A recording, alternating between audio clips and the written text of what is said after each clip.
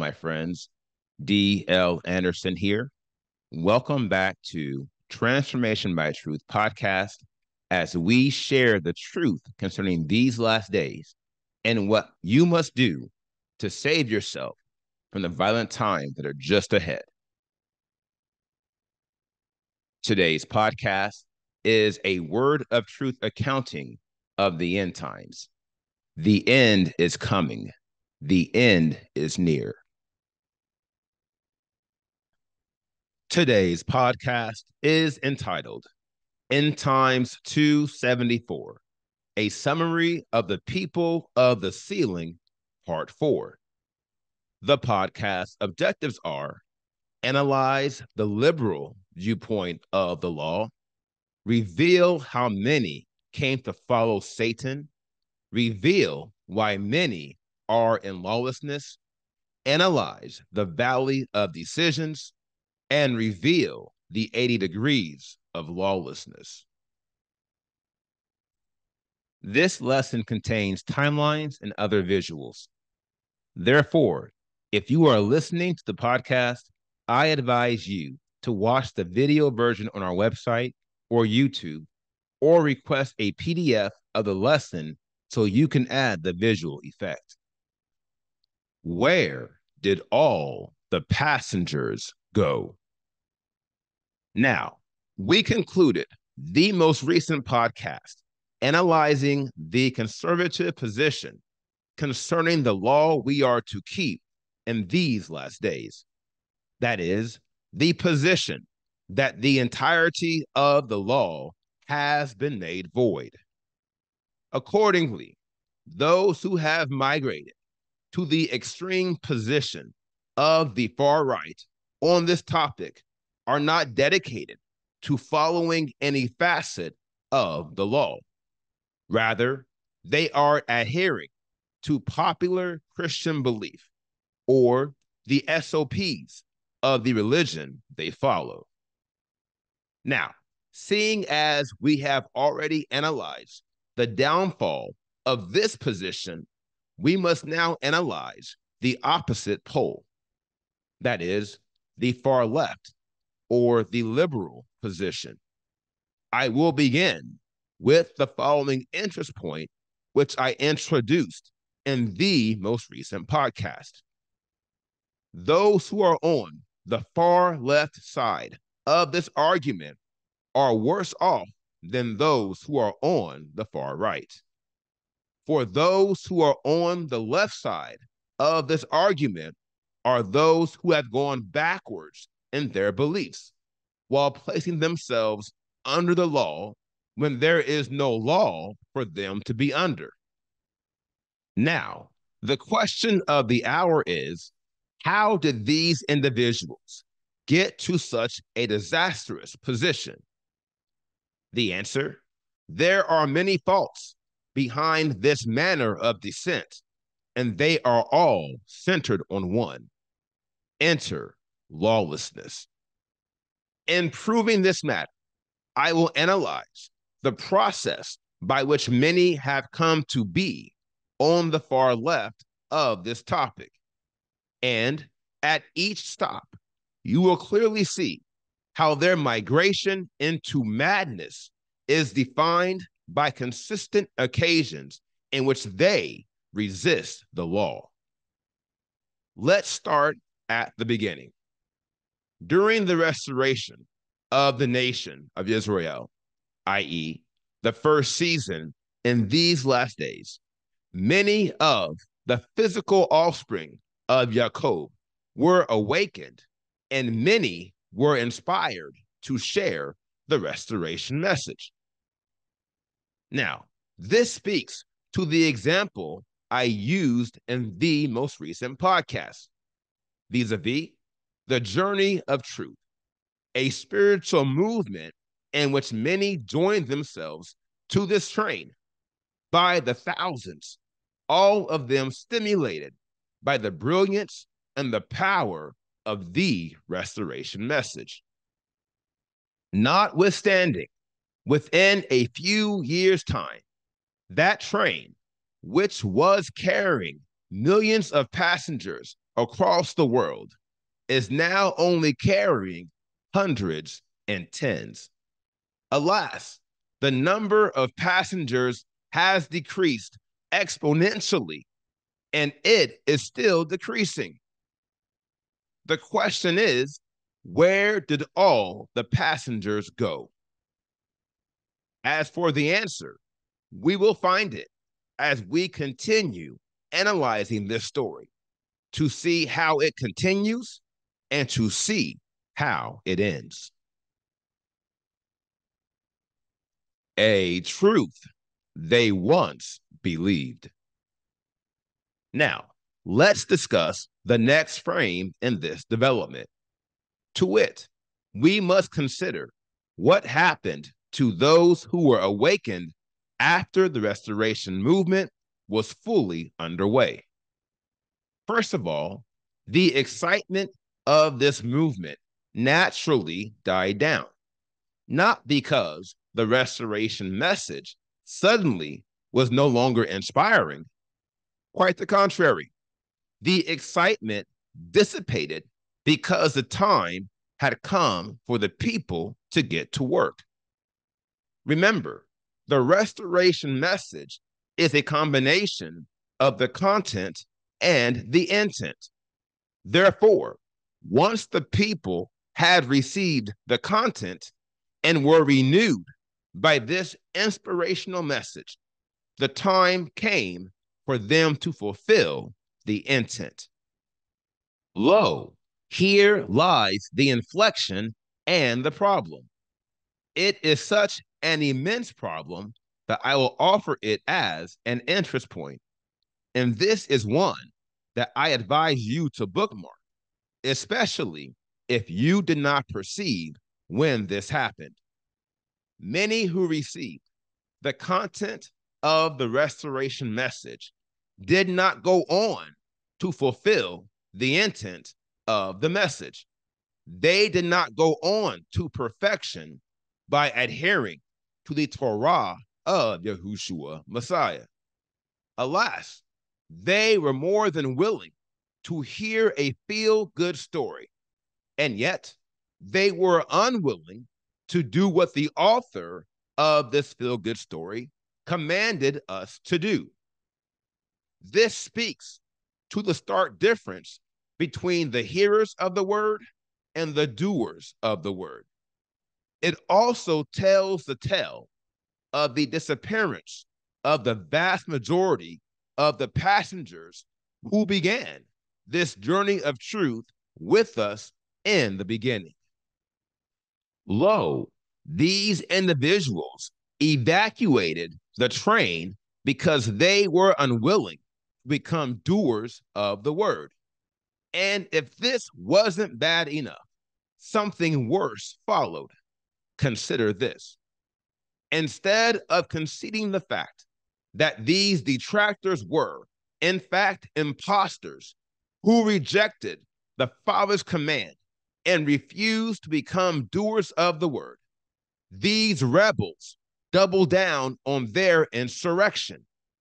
And in doing so, they hijacked the restoration message and became instruments of Satan. That's right, my friends. Many who received the content of the restoration message in the beginning are now messengers of Satan, teaching a modified version of a truth they once believed. Now, this speaks to the damaging and residual defects of lawlessness. To wit, many of these individuals are oblivious to the fact that they have become messengers of Satan. Look, they still believe they are under the restoration. This is precisely why you have heard me constantly warn this audience concerning the great peril of lawlessness and all manner of sin, for it leads to spiritual blindness. And I'll say it again blindness is one of the few spiritual conditions that offers no potential of recovery. And thus, to answer the question of the hour Where did all the passengers go? The answer is sure, as these were all blinded by their rejection to the Father's commands. They all migrated into lawlessness and became workers of iniquity. And all because they rejected a truth they once believed. Because the sky didn't fall. Now, these things being what they are, it is expedient for us to analyze how this disaster went down. To it, we must take a closer look at the restoration movement to better understand the people and places of the sealing. Here is why. The thing that was shall be again, and there is no new thing under the sun. For this cause, we understand that the phenomenon of passengers evacuating the train of truth was not a one time occasion, neither was it unique to the restoration of the nation.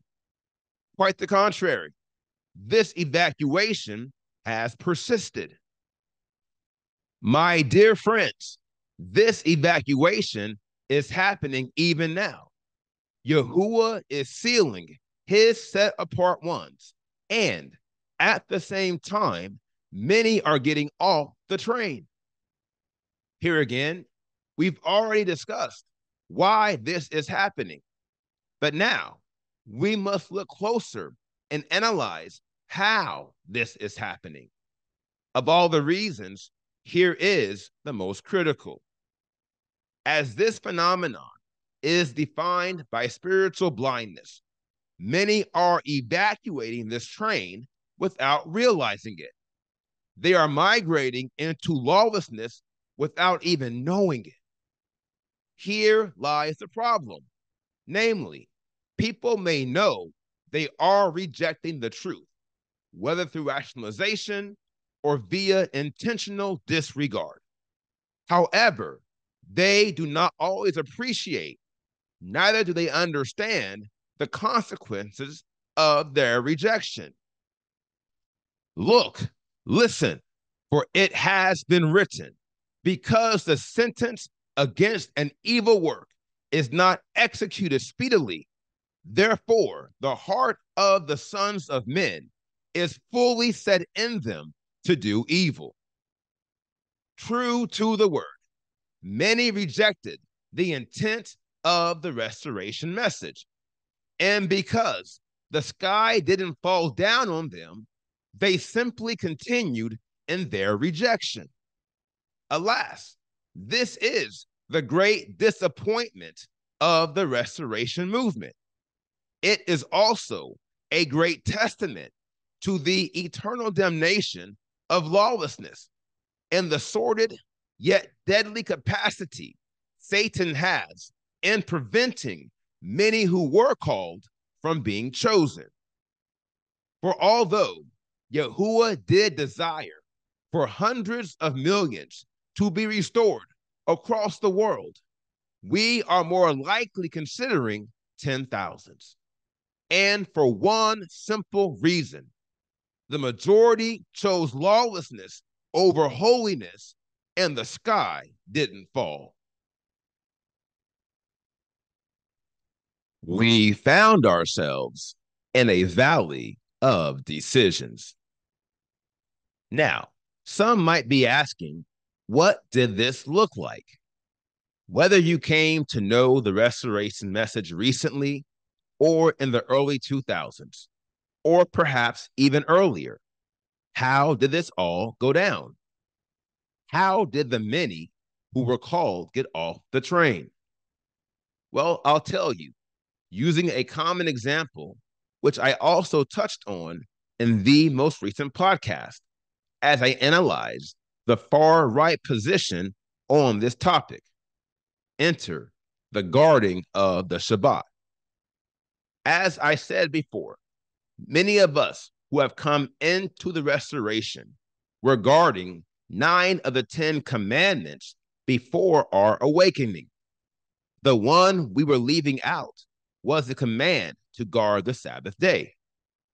Now, for those of us in Mystery Babel, this command would be a challenge for many of us because we were used to working on the seventh day.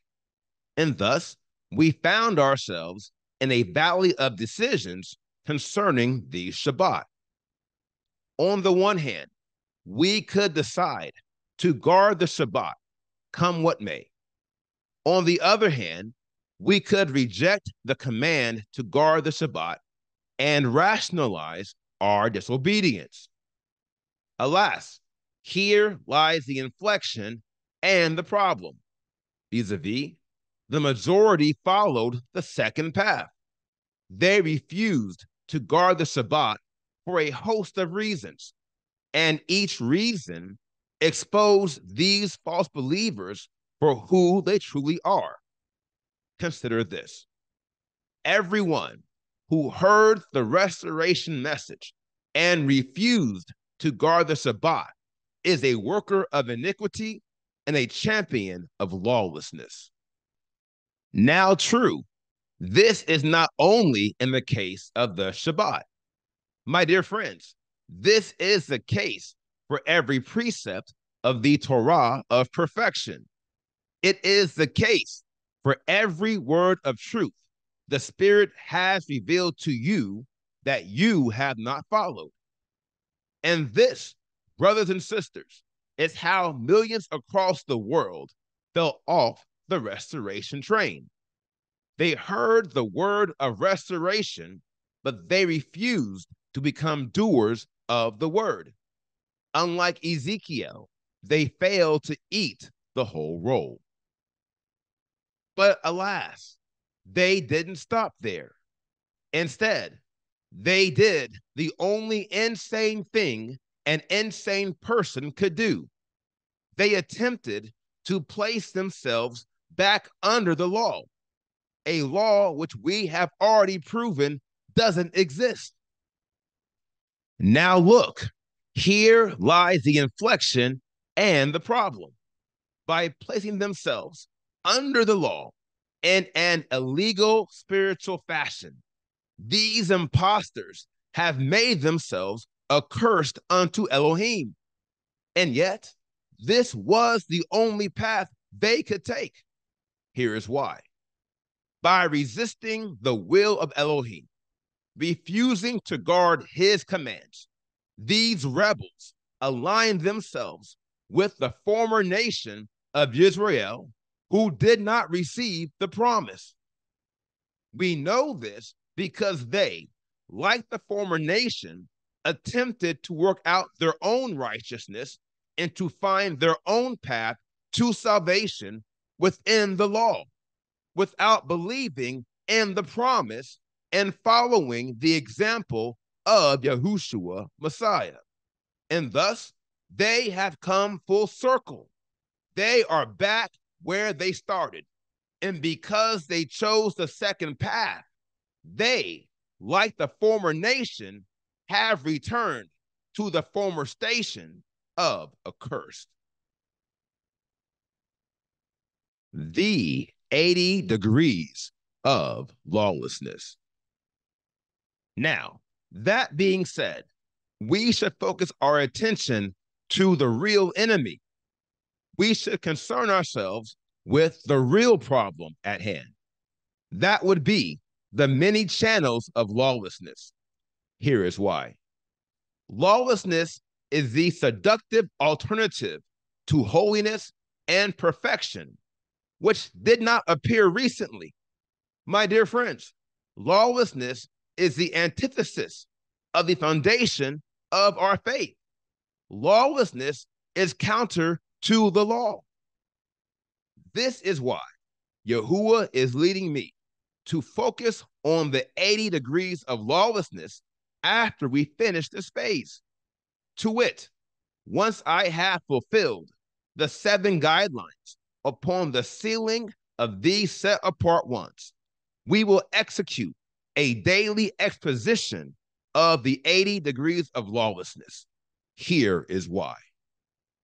As lawlessness is the number one reason why many fell off the restoration train over the past 20 plus years, it is also the number one threat to those who are yet holding on to the truth.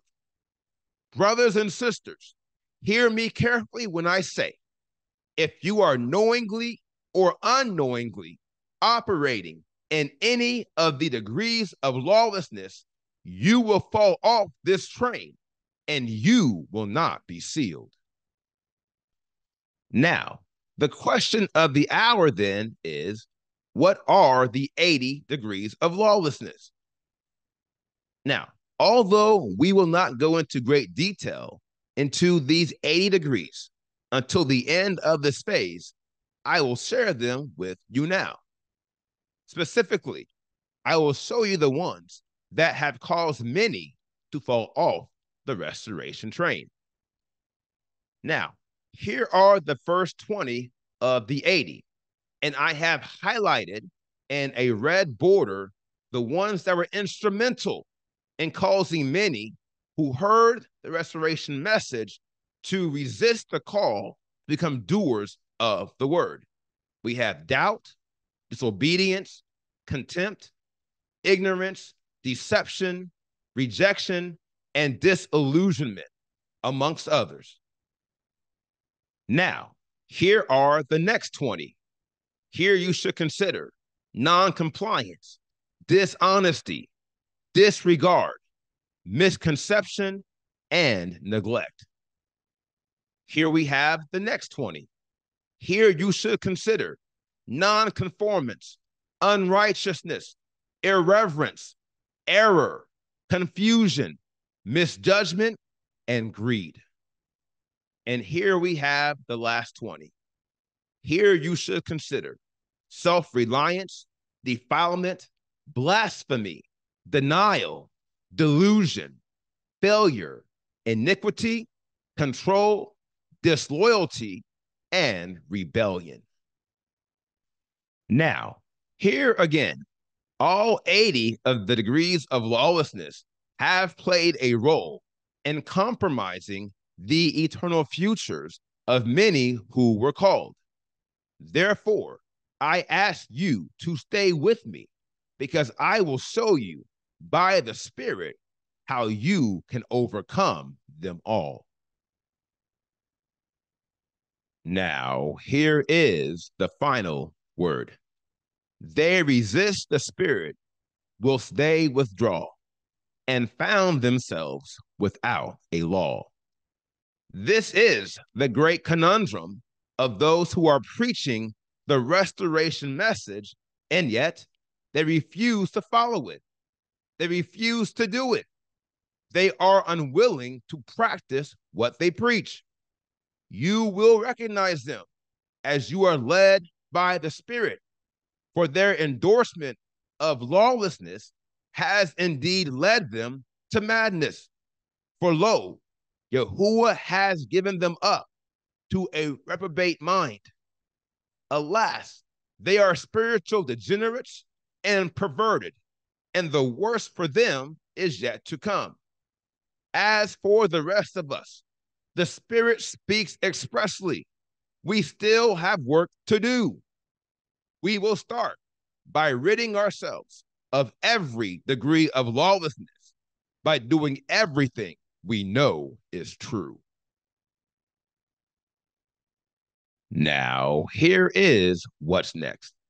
We completed today's podcast, End Times 274, a summary of the people and places of the sealing, part four. And the next podcast is entitled End Times 280 The Times and Seasons of the Sealing. I will post this podcast on Monday, May 13th, 2024. Until then, my friends, continue to be led by the Spirit of Elohim, continue to watch, continue to pray continue in fasting, and most of all, continue to be focused, for the end is coming the end is near.